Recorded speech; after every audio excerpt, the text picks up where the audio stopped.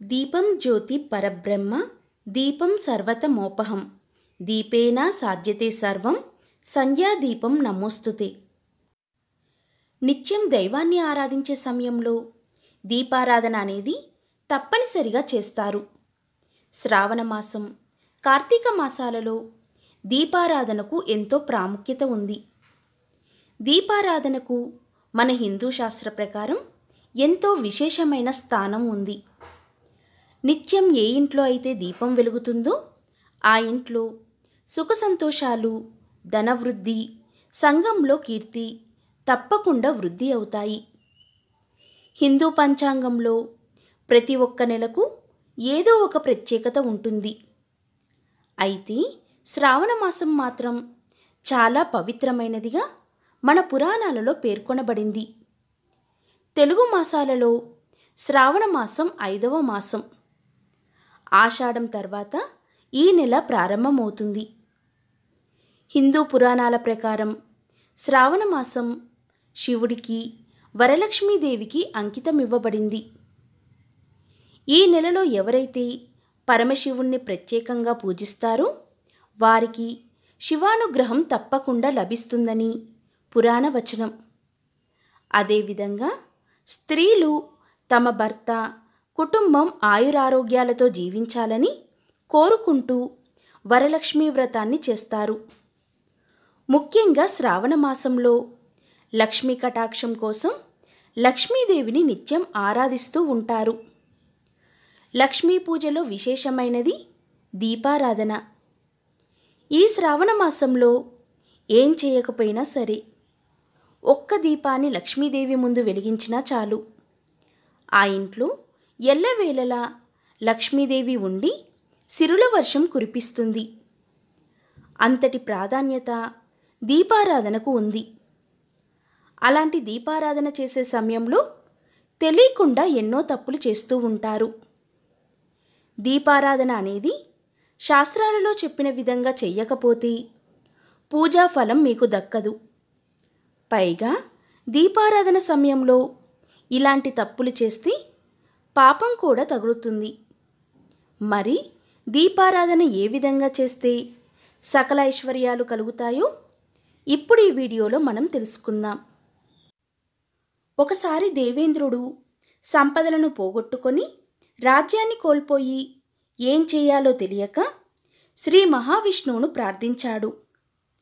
అప్పుడు మహావిష్ణువు ప్రత్యక్షమై ఈ విధంగా చెబుతాడు. దేవేంద్ర ఒక దీపాన్ని వెలిగించి ఆ దీపాన్ని శ్రీ మహాలక్ష్మి యొక్క స్వరూపంగా భావించి పూజించమని చెబుతాడు. మహావిష్ణువు చెప్పినట్లుగానే దేవేంద్రుడు దీపాన్ని వెలిగించి ఆరాధించగానే దానికి ఎంతో సంతృప్తి చెందిన లక్ష్మీదేవి ఇంద్రుడికి కోల్పోయిన సంపదను రాజ్యాన్ని ఇస్తుంది. ఈ విధంగా దీపారాధన చేసి ఇంద్రుడు సకల సంపదలను రాజ్యాన్ని తిరిగి పొందాడు. అంతటి శక్తి దీపాన్ని వెలిగించడం వల్ల వస్తుంది. దీపం జ్యోతి పరబ్రహ్మ స్వరూపంగా మనోవికాసానికి ఆనందానికి నవ్వులకు సద్గుణ సంపత్తికి నిదర్శనంగా భావించి పూజించాలి. దీపం వెలిగించే చోట లక్ష్మీదేవి కొలువై ఉంటుంది. అలాంటి ఇంటిని దైవిక శక్తులు ఎల్లవేళలా కాపాడుతాయని మన పురాణాలు చెబుతున్నాయి. అలాంటి దీపాన్ని వెలిగించే సమయంలో మనకు తెలియకుండానే చేసే పొరపాట్ల వల్ల మనం ఫలితాలను పొందలేము. అవేంటో ఇప్పుడు మనం తెలుసుకుందాం. చాలామంది ప్రమిదల్లో ముందుగా ఒత్తులు వేసి ఆ తర్వాత నూనె పోస్తారు. కానీ ఆ విధంగా అస్సలు చేయకూడదు. ముందుగా ప్రమిదల్లో నూనె పోసి ఆ తర్వాత మాత్రమే ఒత్తులు వెయ్యాలి. ఇక దీపారాధన ప్రమిదలు నేరుగా నేల మీద పెట్టకూడదు. ప్రమిద కింద ముగ్గు కానీ లేదా ప్లేటు కానీ లేకపోతే ఆకు కానీ ఉంచి దాని మీద ప్రమిదను పెట్టి దీపారాధన చెయ్యాలి. ఆకు అంటే తమలపాకు కానీ రావి ఆకు కానీ ఉపయోగించవచ్చు. ఈ విధంగా దీపారాధన చేసే సమయంలో రావి ఆకు మీద ప్రమిదను పెట్టి దీపారాధన చేసినట్లయితే చాలా మంచిది. ఇక వెండి ప్రమిదలు పంచలోహ ప్రమిదలు ఇత్తడి మట్టి ప్రమిదలు చాలా శ్రేష్టమైనవి. కానీ ఎట్టి పరిస్థితులలోనూ స్టీలు ప్రమిదలలో దీపారాధన అస్సలు చేయకూడదు. అలాగే ప్రతిరోజు శుభ్రంగా కడిగిన తర్వాతే దీపారాధనకు ఉపయోగించాలి. అలా కాకుండా శుభ్రపరచకుండా కేవలం ఒత్తులు మాత్రం వెయ్యకూడదు ఇక దీపాన్ని వెలిగించే సమయంలో నేరుగా అగ్గిపుల్లతో దీపాన్ని వెలిగించకూడదు. ఏకహారతితో అయినా లేదా అగర్బత్తిని వెలిగించి దాంతో దీపాలను వెలిగించాలి. ఈ విధంగా దీపం వెలిగించాక ప్రమిదకి గంధం కుంకుమతో బొట్టు పెట్టి అక్షింతలు వేసి పూలను సమర్పించి దీపానికి నమస్కారం చేసుకోవాలి. ఎప్పుడైనా సరే దీపం వెలిగాక కనీసం అరగంట వరకు ఆ దీపం వెలిగేలా చూసుకోవాలి. అంతకన్నా తక్కువ సమయంలో దీపం కొండెక్కితే దీపం వెలిగించిన పుణ్యం మీకు దక్కదు. దీపం ఒకవేళ కొండెక్కినట్లయితే దీపం ఆరిపోయింది అని మనం పలకకూడదు. దీపం కొండెక్కింది అని పలకాలి. ఎప్పుడైనా సరే దీపాన్ని మనంతట మనం ఆర్పకూడదు. అలాగే దీపాన్ని ఒక్క వత్తితో వెలిగించకూడదు. ఒక్క వత్తితో కేవలం చనిపోయినప్పుడు మాత్రమే వెలిగిస్తారు. రెండు ఒత్తులను తీసుకొని ఆ రెండింటిని ఒకటిగా చేసి దీపాన్ని వెలిగించాలి. ఎప్పుడైనా మీరు గమనించకుండా ఉన్నప్పుడు దీపం కొండెక్కినట్లయితే ఓం నమ శివాయ ఓం నమ శివాయ అనే పంచాక్షరి మంత్రాన్ని నూట ఎనిమిది సార్లు జపించి మళ్ళీ దీపారాధన చేయవచ్చు. దీపారాధన చేసిన తర్వాత మరుసటి రోజు అదే ప్రమిదలో నూనె పోసి మిగిలిన ఒత్తులను వెలిగించకూడదు. ఇలా చేస్తే మహాపాపం అంటుకుంటుంది. ఈ విధంగా అస్సలు చేయకూడదు. ప్రతిరోజు కూడా ఒత్తులను తప్పకుండా మార్చాలి. అలాగే ప్రమిదలను శుభ్రపరచుకోవాలి.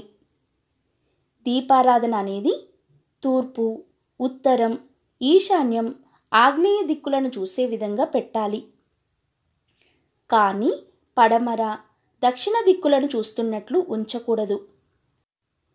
అదేవిధంగా దీపారాధన అనేది తెల్లవారుజామున నాలుగు గంటల నుండి ఆరు గంటల మధ్య వెలిగిస్తే ఎన్నో అద్భుత ఫలితాలు కలుగుతాయి. క్రమం తప్పకుండా ఈ విధంగా నలభై ఎనిమిది రోజుల పాటు చేస్తే మీ మనసులోని న్యాయపరమైన కోరికలు తప్పకుండా నెరవేరుతాయని మన శాస్త్రాలు చెబుతున్నాయి. ఇక ఈ శ్రావణ మాసంలో సాయంత్రం ఆరు గంటల నుండి ఆరు గంటల ముప్పై నిమిషాల మధ్య లక్ష్మీదేవికి దీపారాధన చేస్తే ఎంతో మంచి ఫలితాలను పొందుతారు. ఉత్తమ జీవనం అదేవిధంగా కుటుంబ సౌఖ్యాన్ని పొందుతారు. ఉద్యోగంలో ఉన్నతి విద్యలో వృద్ధి అన్నీ కూడా కలుగుతాయి. ఈ విధంగా చేసిన వారికి శ్రీ మహాలక్ష్మి యొక్క అనుగ్రహం తప్పకుండా కలుగుతుంది. ఇక శ్రావణ శుక్రవారాలలో సాయంత్రం ఐదు గంటల నలభై ఐదు నిమిషాల నుండి ఆరు గంటల పదిహేను నిమిషాల మధ్య వెలిగించే దీపాలను జ్యోతిలక్ష్మి అంటారు. శ్రావణ శుక్రవారాలలో ఈ సమయంలో దీపారాధన చేసిన వారికి అఖండ లక్ష్మీ కటాక్షం కలుగుతుంది. ఒక్క శ్రావణ శుక్రవారాలలో మాత్రమే కాదు శ్రావణ మాసంలో ప్రతిరోజు కూడా సాయంత్రం ఈ సమయంలో దీపారాధన చేస్తే లక్ష్మీదేవి యొక్క అనుగ్రహం కలిగి సకల సంపదలు చేకూరుతాయి. దీపం పరబ్రహ్మ స్వరూపం అంటారు. అలాంటి దీపాలను శాస్త్రాలలో చెప్పిన విధంగా వెలిగిస్తే సకల ఐశ్వర్యాలు కలుగుతాయి. దీపం వెలిగించే సమయంలో తగు జాగ్రత్తలు పాటిస్తే దీపాన్ని వెలిగించిన పుణ్యాన్ని మీరు పొందుతారు.